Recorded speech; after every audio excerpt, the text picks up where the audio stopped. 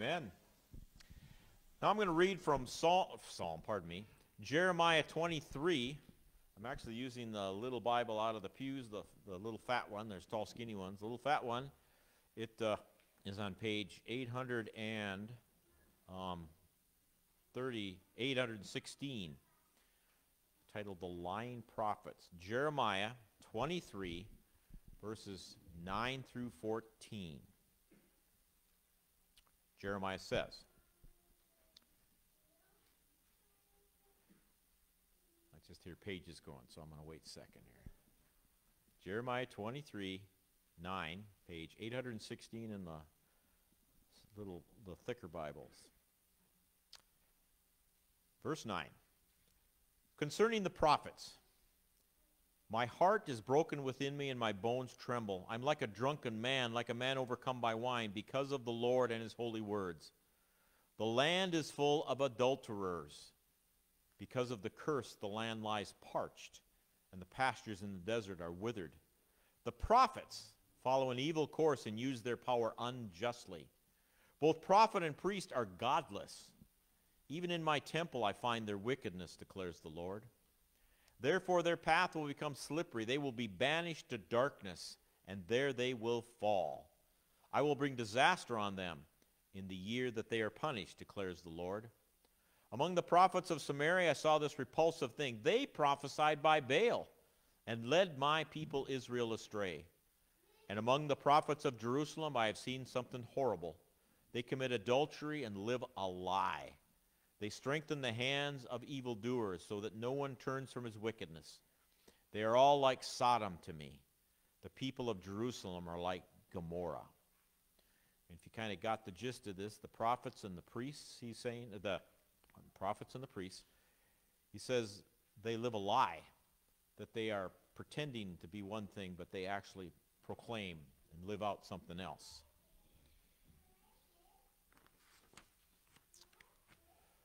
So let's go to Mark chapter 12. Let me give you a chance to stand for just a second. Mark chapter 12. Why don't you stand with me?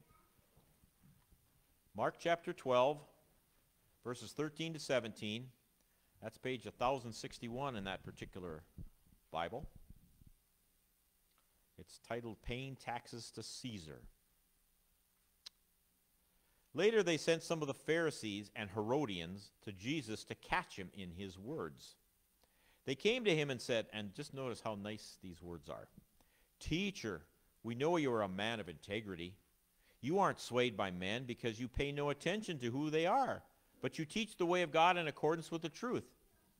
Then they asked their question Is it right to pay taxes to Caesar or not?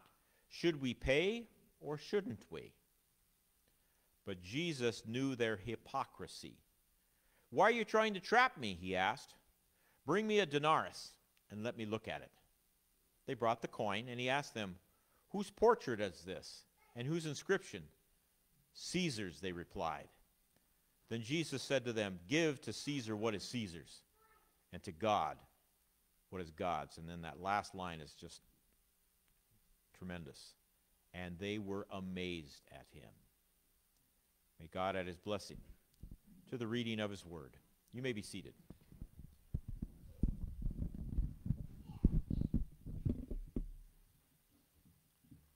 Let me start with a couple questions. In fact, I'm going to ask a few questions throughout this. First one, I'm going to kind of repeat what Rob did last week, if you remember.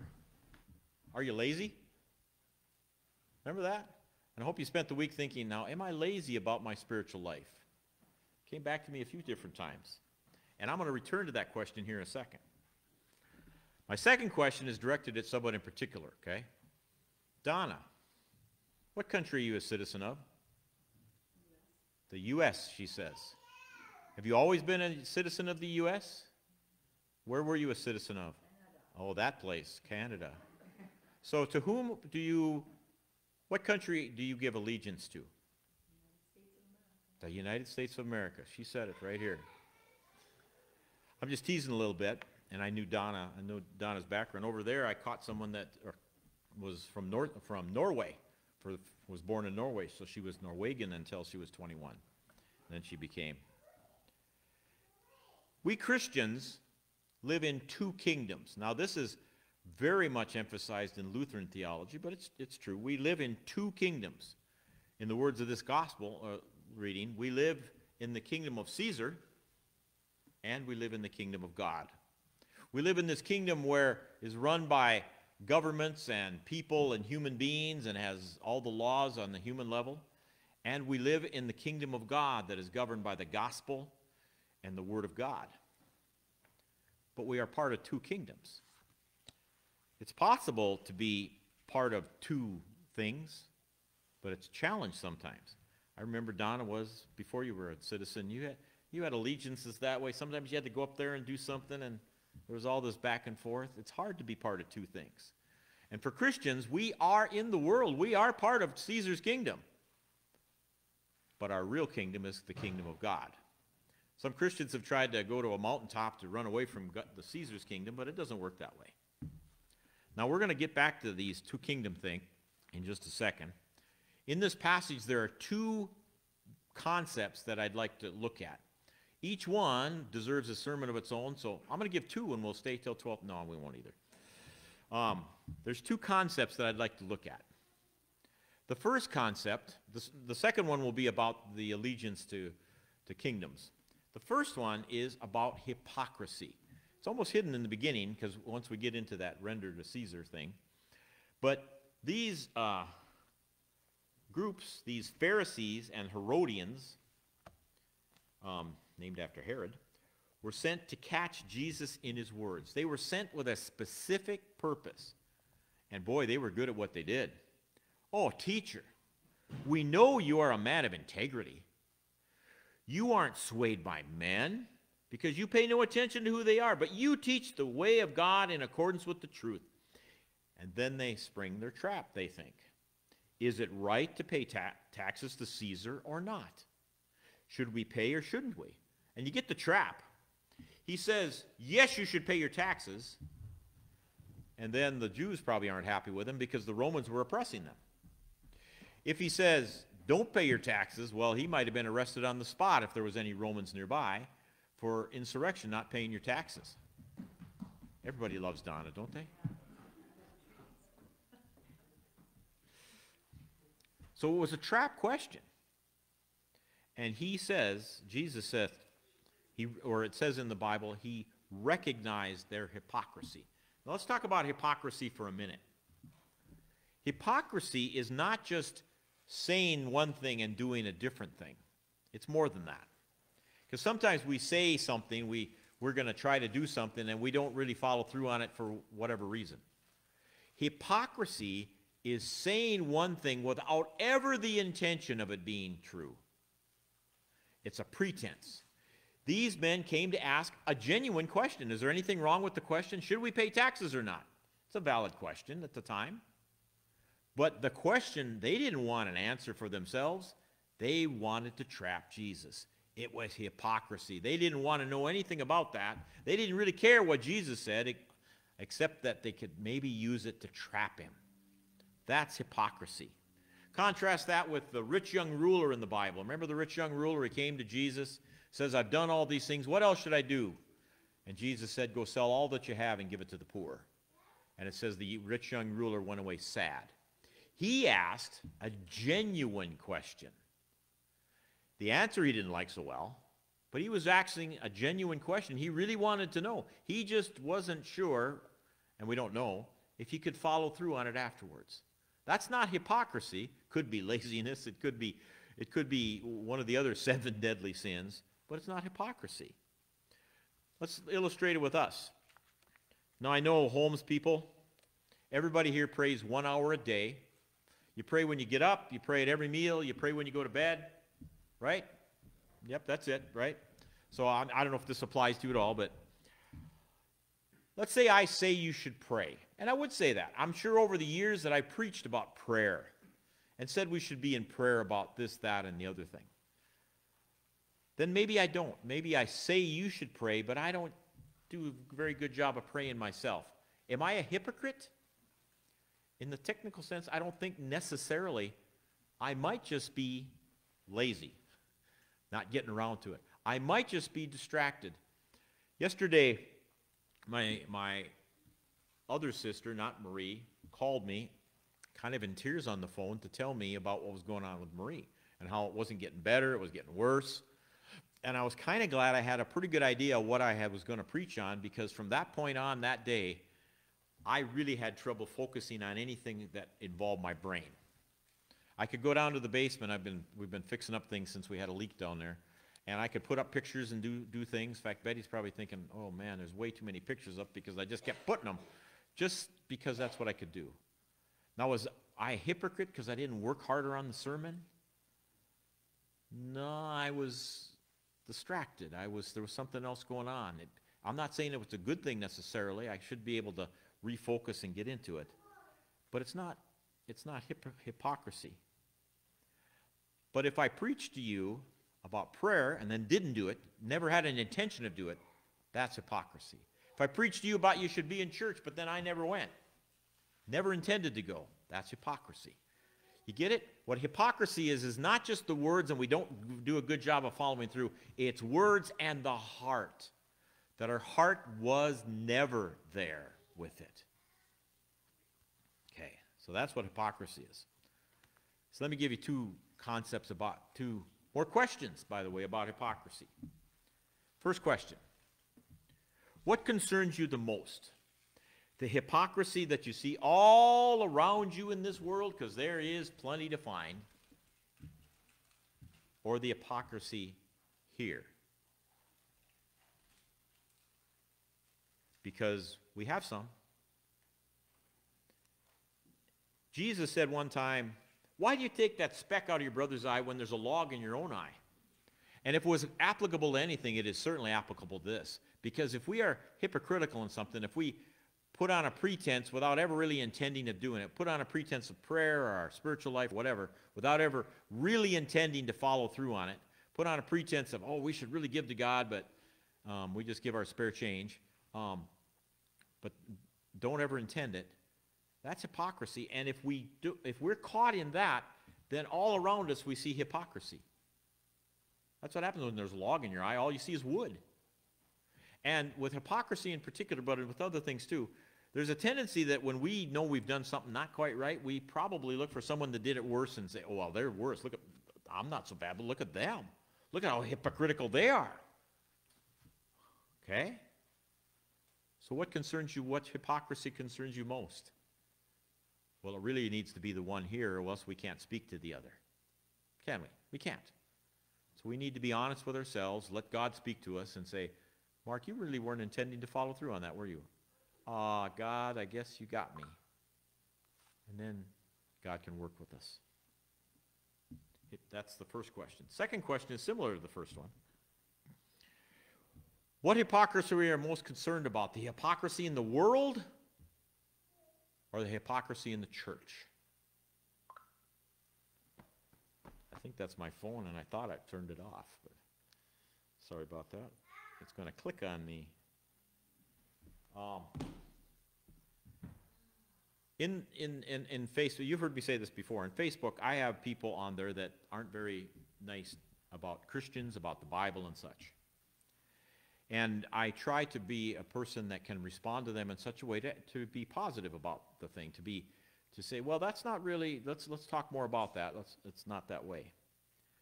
But some of those things that people say on Facebook and elsewhere about the church, I look at it and I go, they're right. We were that way. Sometimes we are that way. Sometimes we haven't taken care of people. Sometimes we haven't been taking care of the needy. Sometimes we have been more concerned about our own thing than that. Sometimes we have been more concerned about money than other things. And it's important for us as a church to recognize that uh, we are imperfect and we need to recognize our own shortcomings and especially our hypocrisies when the church says one thing and never intends to do it. It affects our witness, doesn't it? Our witness is not made poorer when we fail. It's made poorer when we fail or aren't what we say we are and try to hide it. When we fail and say, Dear God, forgive me a sinner, and people realize we're staying on that level, that's a witness. Okay, that's hypocrisy. Second sermon. the government. Render unto Caesar that which is Caesar's, and unto God that which is God's. As I said, that wasn't an invalid question. Should we pay taxes to Caesar? Remember, those taxes to Caesar paid the Roman soldiers that were not very kind to the, to the run of the mill Israelis, to Israelis, to the Jewish people. Should they pay taxes? Should we just withhold them? And Jesus is such a. Don't you wish that you were as smart as Jesus? I mean, it was a trap question. He says, Yes, you're in trouble. Say, No, you're in trouble. And what he said, Oh, show me a denarius. Show me a coin. Whose picture is that? It's Caesar's. And he says, Well, then render unto Caesar what belongs to him. And then render unto God what belongs to God. And then that phrase that I think just sums the whole thing up. And they were amazed at him. So, should we obey the government? Let me look here once. I gave my only 20 out at the other church. Hamilton is on the $10 bill. We don't have a Caesar, we don't have a, but we have dead presidents and others. What do we live for? These or others things? What do we do with this? Should we obey the government? Should we pay our taxes? The answer the Bible would tell us is generally yes, we should obey the government. Obey the leaders. The early church, the only time they did not obey the government was when they were told, Don't you go out and talk about this Jesus anymore. And it says they couldn't help it. So the only time that we should disobey the government is when we really think the government is trespassing upon our, our Christian faith, our morality. Now, not just by doing stupid things with money, they, yeah, but we need to be really careful that if we think we need to disobey the government, we're doing over that. And that when we do, we're willing to take the consequences of it, or else it's no witness at all. No, I got, I got to get rid of this.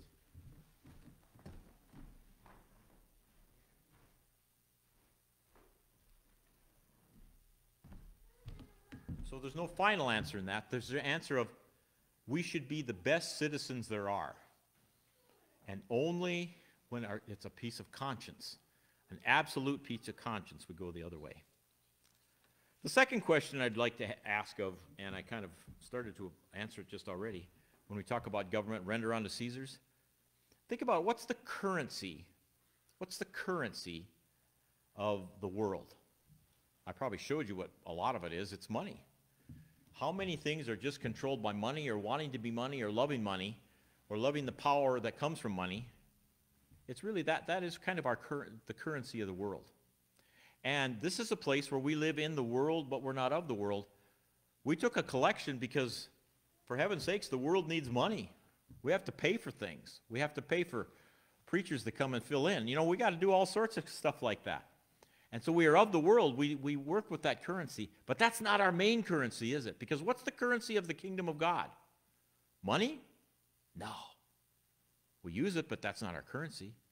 And there's a lot of ways to put it. I want to put it this way the currency of God's kingdom is the love of God shown to us in the person of Jesus Christ, in his death and resurrection on the cross. That's our currency. That's what we live by. That's what we continue on. Now I'm going to illustrate that this way. I'm going to skip you up here for a second. I'm going to take it back here. Make sure I'm heard. I have in my hand Sprechen Sie Deutsch? Anyone? Sprechen Sie Deutsch? I have some Deutschmarks that are both, they say, 100,000 marks. Now, 100,000 in modern terms, Deutschmarks would be $60,000. I'm going to send one this way. Just go ahead and pass it around. I'd like it back because it's part of a, I can't go any further. Betty's dad, my wife Betty's dad, was a bomber pilot in the World War. And he has English money, you know, and German money. And right after the war, that powerful Germany was one of the most powerful nations on the world, suddenly was not anymore. It was defeated. And they could get barrels of these things, and they weren't worth anything. Not 60,000, because brothers and sisters, I love you, but I wouldn't be sending $60,000 out there. Sorry, I just wouldn't be doing that. Over at the other church, Tom said, and you wouldn't get it back either. You see, that's what happens with the currency of the world. It will eventually be nothing. It will eventually go away, no matter what. We might think we have, you know, I've been watching my retirement funds to see when I can retire, so on and so forth. It's all electronic money. I mean, it's what would it take for it to be gone? I don't want it to be, but that's what it is. Everything in this world will eventually be worthless except hu- the human soul and the gospel of Christ. And that's the reason, yes, we use the money, we use the Deutschmarks, we use Alexander Hamilton and the $10 bill, but we live for Christ. And we know that in the long run, that's, the, that's who saves us, that who walks along with us. Render unto Caesar that which is Caesar's. Let the world have what the world has. We participate in it, we enjoy some of it, but let us render unto God the love that He first gave us, the love that He wants us to share with others, even the unlovable. Let us pray. Gracious and Almighty God, we thank you for your goodness. We thank you for the wisdom that your Son so showed in amazing ways. And just as they were amazed at him, we are amazed at him. And we are grateful for his love and grace. Help us, Lord, to live in this world by your currency, the love of Jesus Christ. To use what the world has, but not to covet it, not to center on it. Help us to not to help us to move away from our own hypocrisies, our own failings, and to be more and more like Christ, to admit when we fail, and to find forgiveness in you. Gracious God, thank you for these moments, for we pray it in Christ's name. Amen.